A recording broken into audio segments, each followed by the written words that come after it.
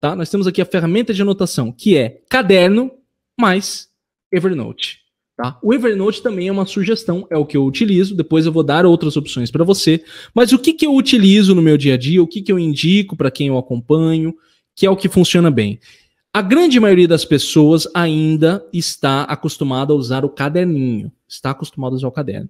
Se você tem uma grana aí, você compra um iPad bacana, você tem uma, uma, um, uma ferramenta que quase é como um caderno na capacidade de escrita. Tem outro tablet que eu indico também, que é o Samsung Tab A. A partir do Tab A, de, não importa o tamanho de tela, a escrita dele já é muito boa. Tá? Fora isso, eu acho que você vai só passar raiva, a menos que você seja uma pessoa muito paciente.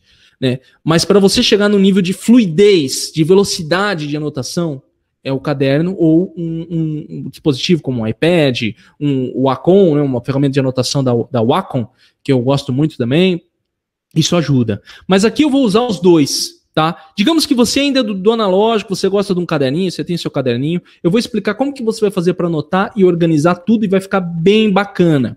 Para você não perder as coisas e ter um bom sistema de revisão, anotação e facilitar os seus estudos. Olha só, o que, que você faz primeiro? Primeira coisa, você vai anotar tá? Eu tirei uma foto aqui de um vídeo que eu gravei, então lá você anota. Eu estou usando aí um post-it, tá? Mas você vai anotar lá no seu caderno, tá lá na sua, no... sua aula, você está anotando, o professor está falando, mesmo na videoaula, você está anotando. Professor, eu, eu anoto digitando. E aí? Beleza, cara. Então aqui talvez não faça muito sentido para você, mas você pode usar o Evernote também tá bom? Se você quiser, você pode usar o Evernote também na hora de digitar suas anotações. Mas vamos dizer que a grande maioria aqui tá escrevendo, tá? Primeira coisa, você escreve. Fala, pô, professor, eu gosto de escrever. Eu acho que escrever à mão facilita o meu aprendizado, como de fato facilita, né? Mas não é uma regra, tá? Não significa que se você digita, você não vai aprender nada, tá bom? Então, você fez a sua anotação. Segunda coisa que você vai fazer, você vai tirar uma foto com seu Evernote. Você vai abrir seu Evernote lá da sua anotação enorme que você fez, não importa o tamanho, você vai tirar uma foto dela. Vai tirar uma foto daquela anotação. Professor, por que, que eu vou tirar uma foto dessa anotação? É simples, e aí vem a mágica do Evernote agora. Porque você vai conseguir organizar ele no Evernote. Então ele vai vir desse jeito para você aqui, ó, tá vendo? O que, que ele faz? Ele já deixa em preto e branco, ele já joga, ali você coloca o tema da sua aula e toda a sua anotação vai estar descrita ali. Automaticamente ele já vai sincronizar com o seu celular, com o seu computador, com o seu tablet, seja o que for. Então ele vai sincronizar com todas as ferramentas. Então você, ah, professor, eu, puxa, eu tirei foto do meu celular. Então eu estou no computador, vou ter que olhar o celular. Não, cara, você pode ir no seu computador. Pode ir no seu computador e pronto, ele já vai agilizar muito para você esse processo. Ah, professor, mas para que, que eu vou tirar foto da minha anotação? Vou perder tempo de tirar foto da minha anotação. Vou deixar no caderno mesmo, tá?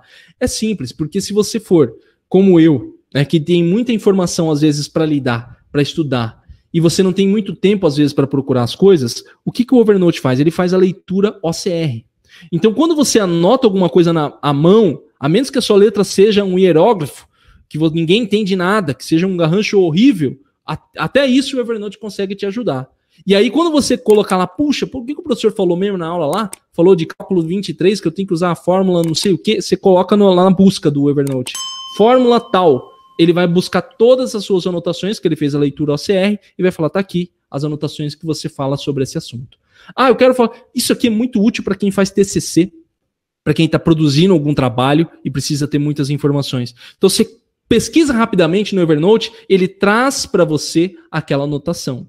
Né? Uma outra praticidade do Evernote é a seguinte: olha, você pode pegar, e já vou falar, mas essa aqui é só um exemplo de anotação que eu trouxe para vocês verem, uma anotação de um, de um curso que eu estava vendo de pedagogia sistêmica. Eu fiz a anotação, essa anotação aqui, e o Evernote já fez toda a leitura OCR, então às vezes eu tenho que voltar para consultar alguma coisa, só clico lá e digito no Evernote, ele traz para mim esse exemplo. Então, não tem limite de tamanho, tá? Você vê uma folha inteira que eu tenho acesso direto pelo meu Evernote. Olha lá, o Evernote vai te ajudar nisso aqui, ó, ele tem cadernos, então você pode colocar caderno de, por matéria, então você coloca lá as matérias que eu tenho, você pode colocar as etiquetas que são assuntos, então às vezes você, pô, eu tô com a matéria cálculo 23, mas tem um assunto que está caindo que é o cálculo da proa do navio, e isso, cobrado demais, e tem um monte de assuntos, você coloca lá, etiqueta, cálculo proa do navio, né? Ah, eu tenho uma outra matéria que é a cor, que, que o tipo de tinta que se aplica no navio. Então, beleza, tipos de tinta. Você coloca lá a etiqueta no caderno design de navios. Então, você pode criar cadernos que vão ajudar você por matéria e ao mesmo tempo etiquetas. Você pode pegar sua anotação e jogar fora. Você não precisa ter aquele caderno que você fica folheando de tudo quanto é lado. Isso agiliza o processo de estudo e anotação no seu dia a dia. Professor, eu ainda acho que não sei se vale a pena o Evernote. Então aqui vem mais alguns pontos. Primeiro, você vai organizar as ideias uh, e as suas anotações, que é muito mais fácil. Você pode digitar direto para o Evernote. Professor, eu posso usar o meu tablet? Que eu, eu tenho um tablet, eu tenho um Samsung, eu tenho um Apple, eu tenho um tablet que escreve legal, tem uma, uma caneta para escrever no tablet. Posso usar ele no Evernote? Pode. Você vai colocar o modo escrita dele e você vai escrever direto nele. Você vai usar todos os recursos da ferramenta com a opção de escrita. Tem também. Professor, eu posso gravar a aula no meu Evernote? Pode gravar a aula. Você pode lá, clica lá no microfoninho, você vai gravar a aula e você pode deixar separada para o caderno. Professor, posso tirar uma foto do, do quadro do professor e colocar no Evernote? Pode também. E ele faz a leitura OCR por, também, se você tirar foto do quadro.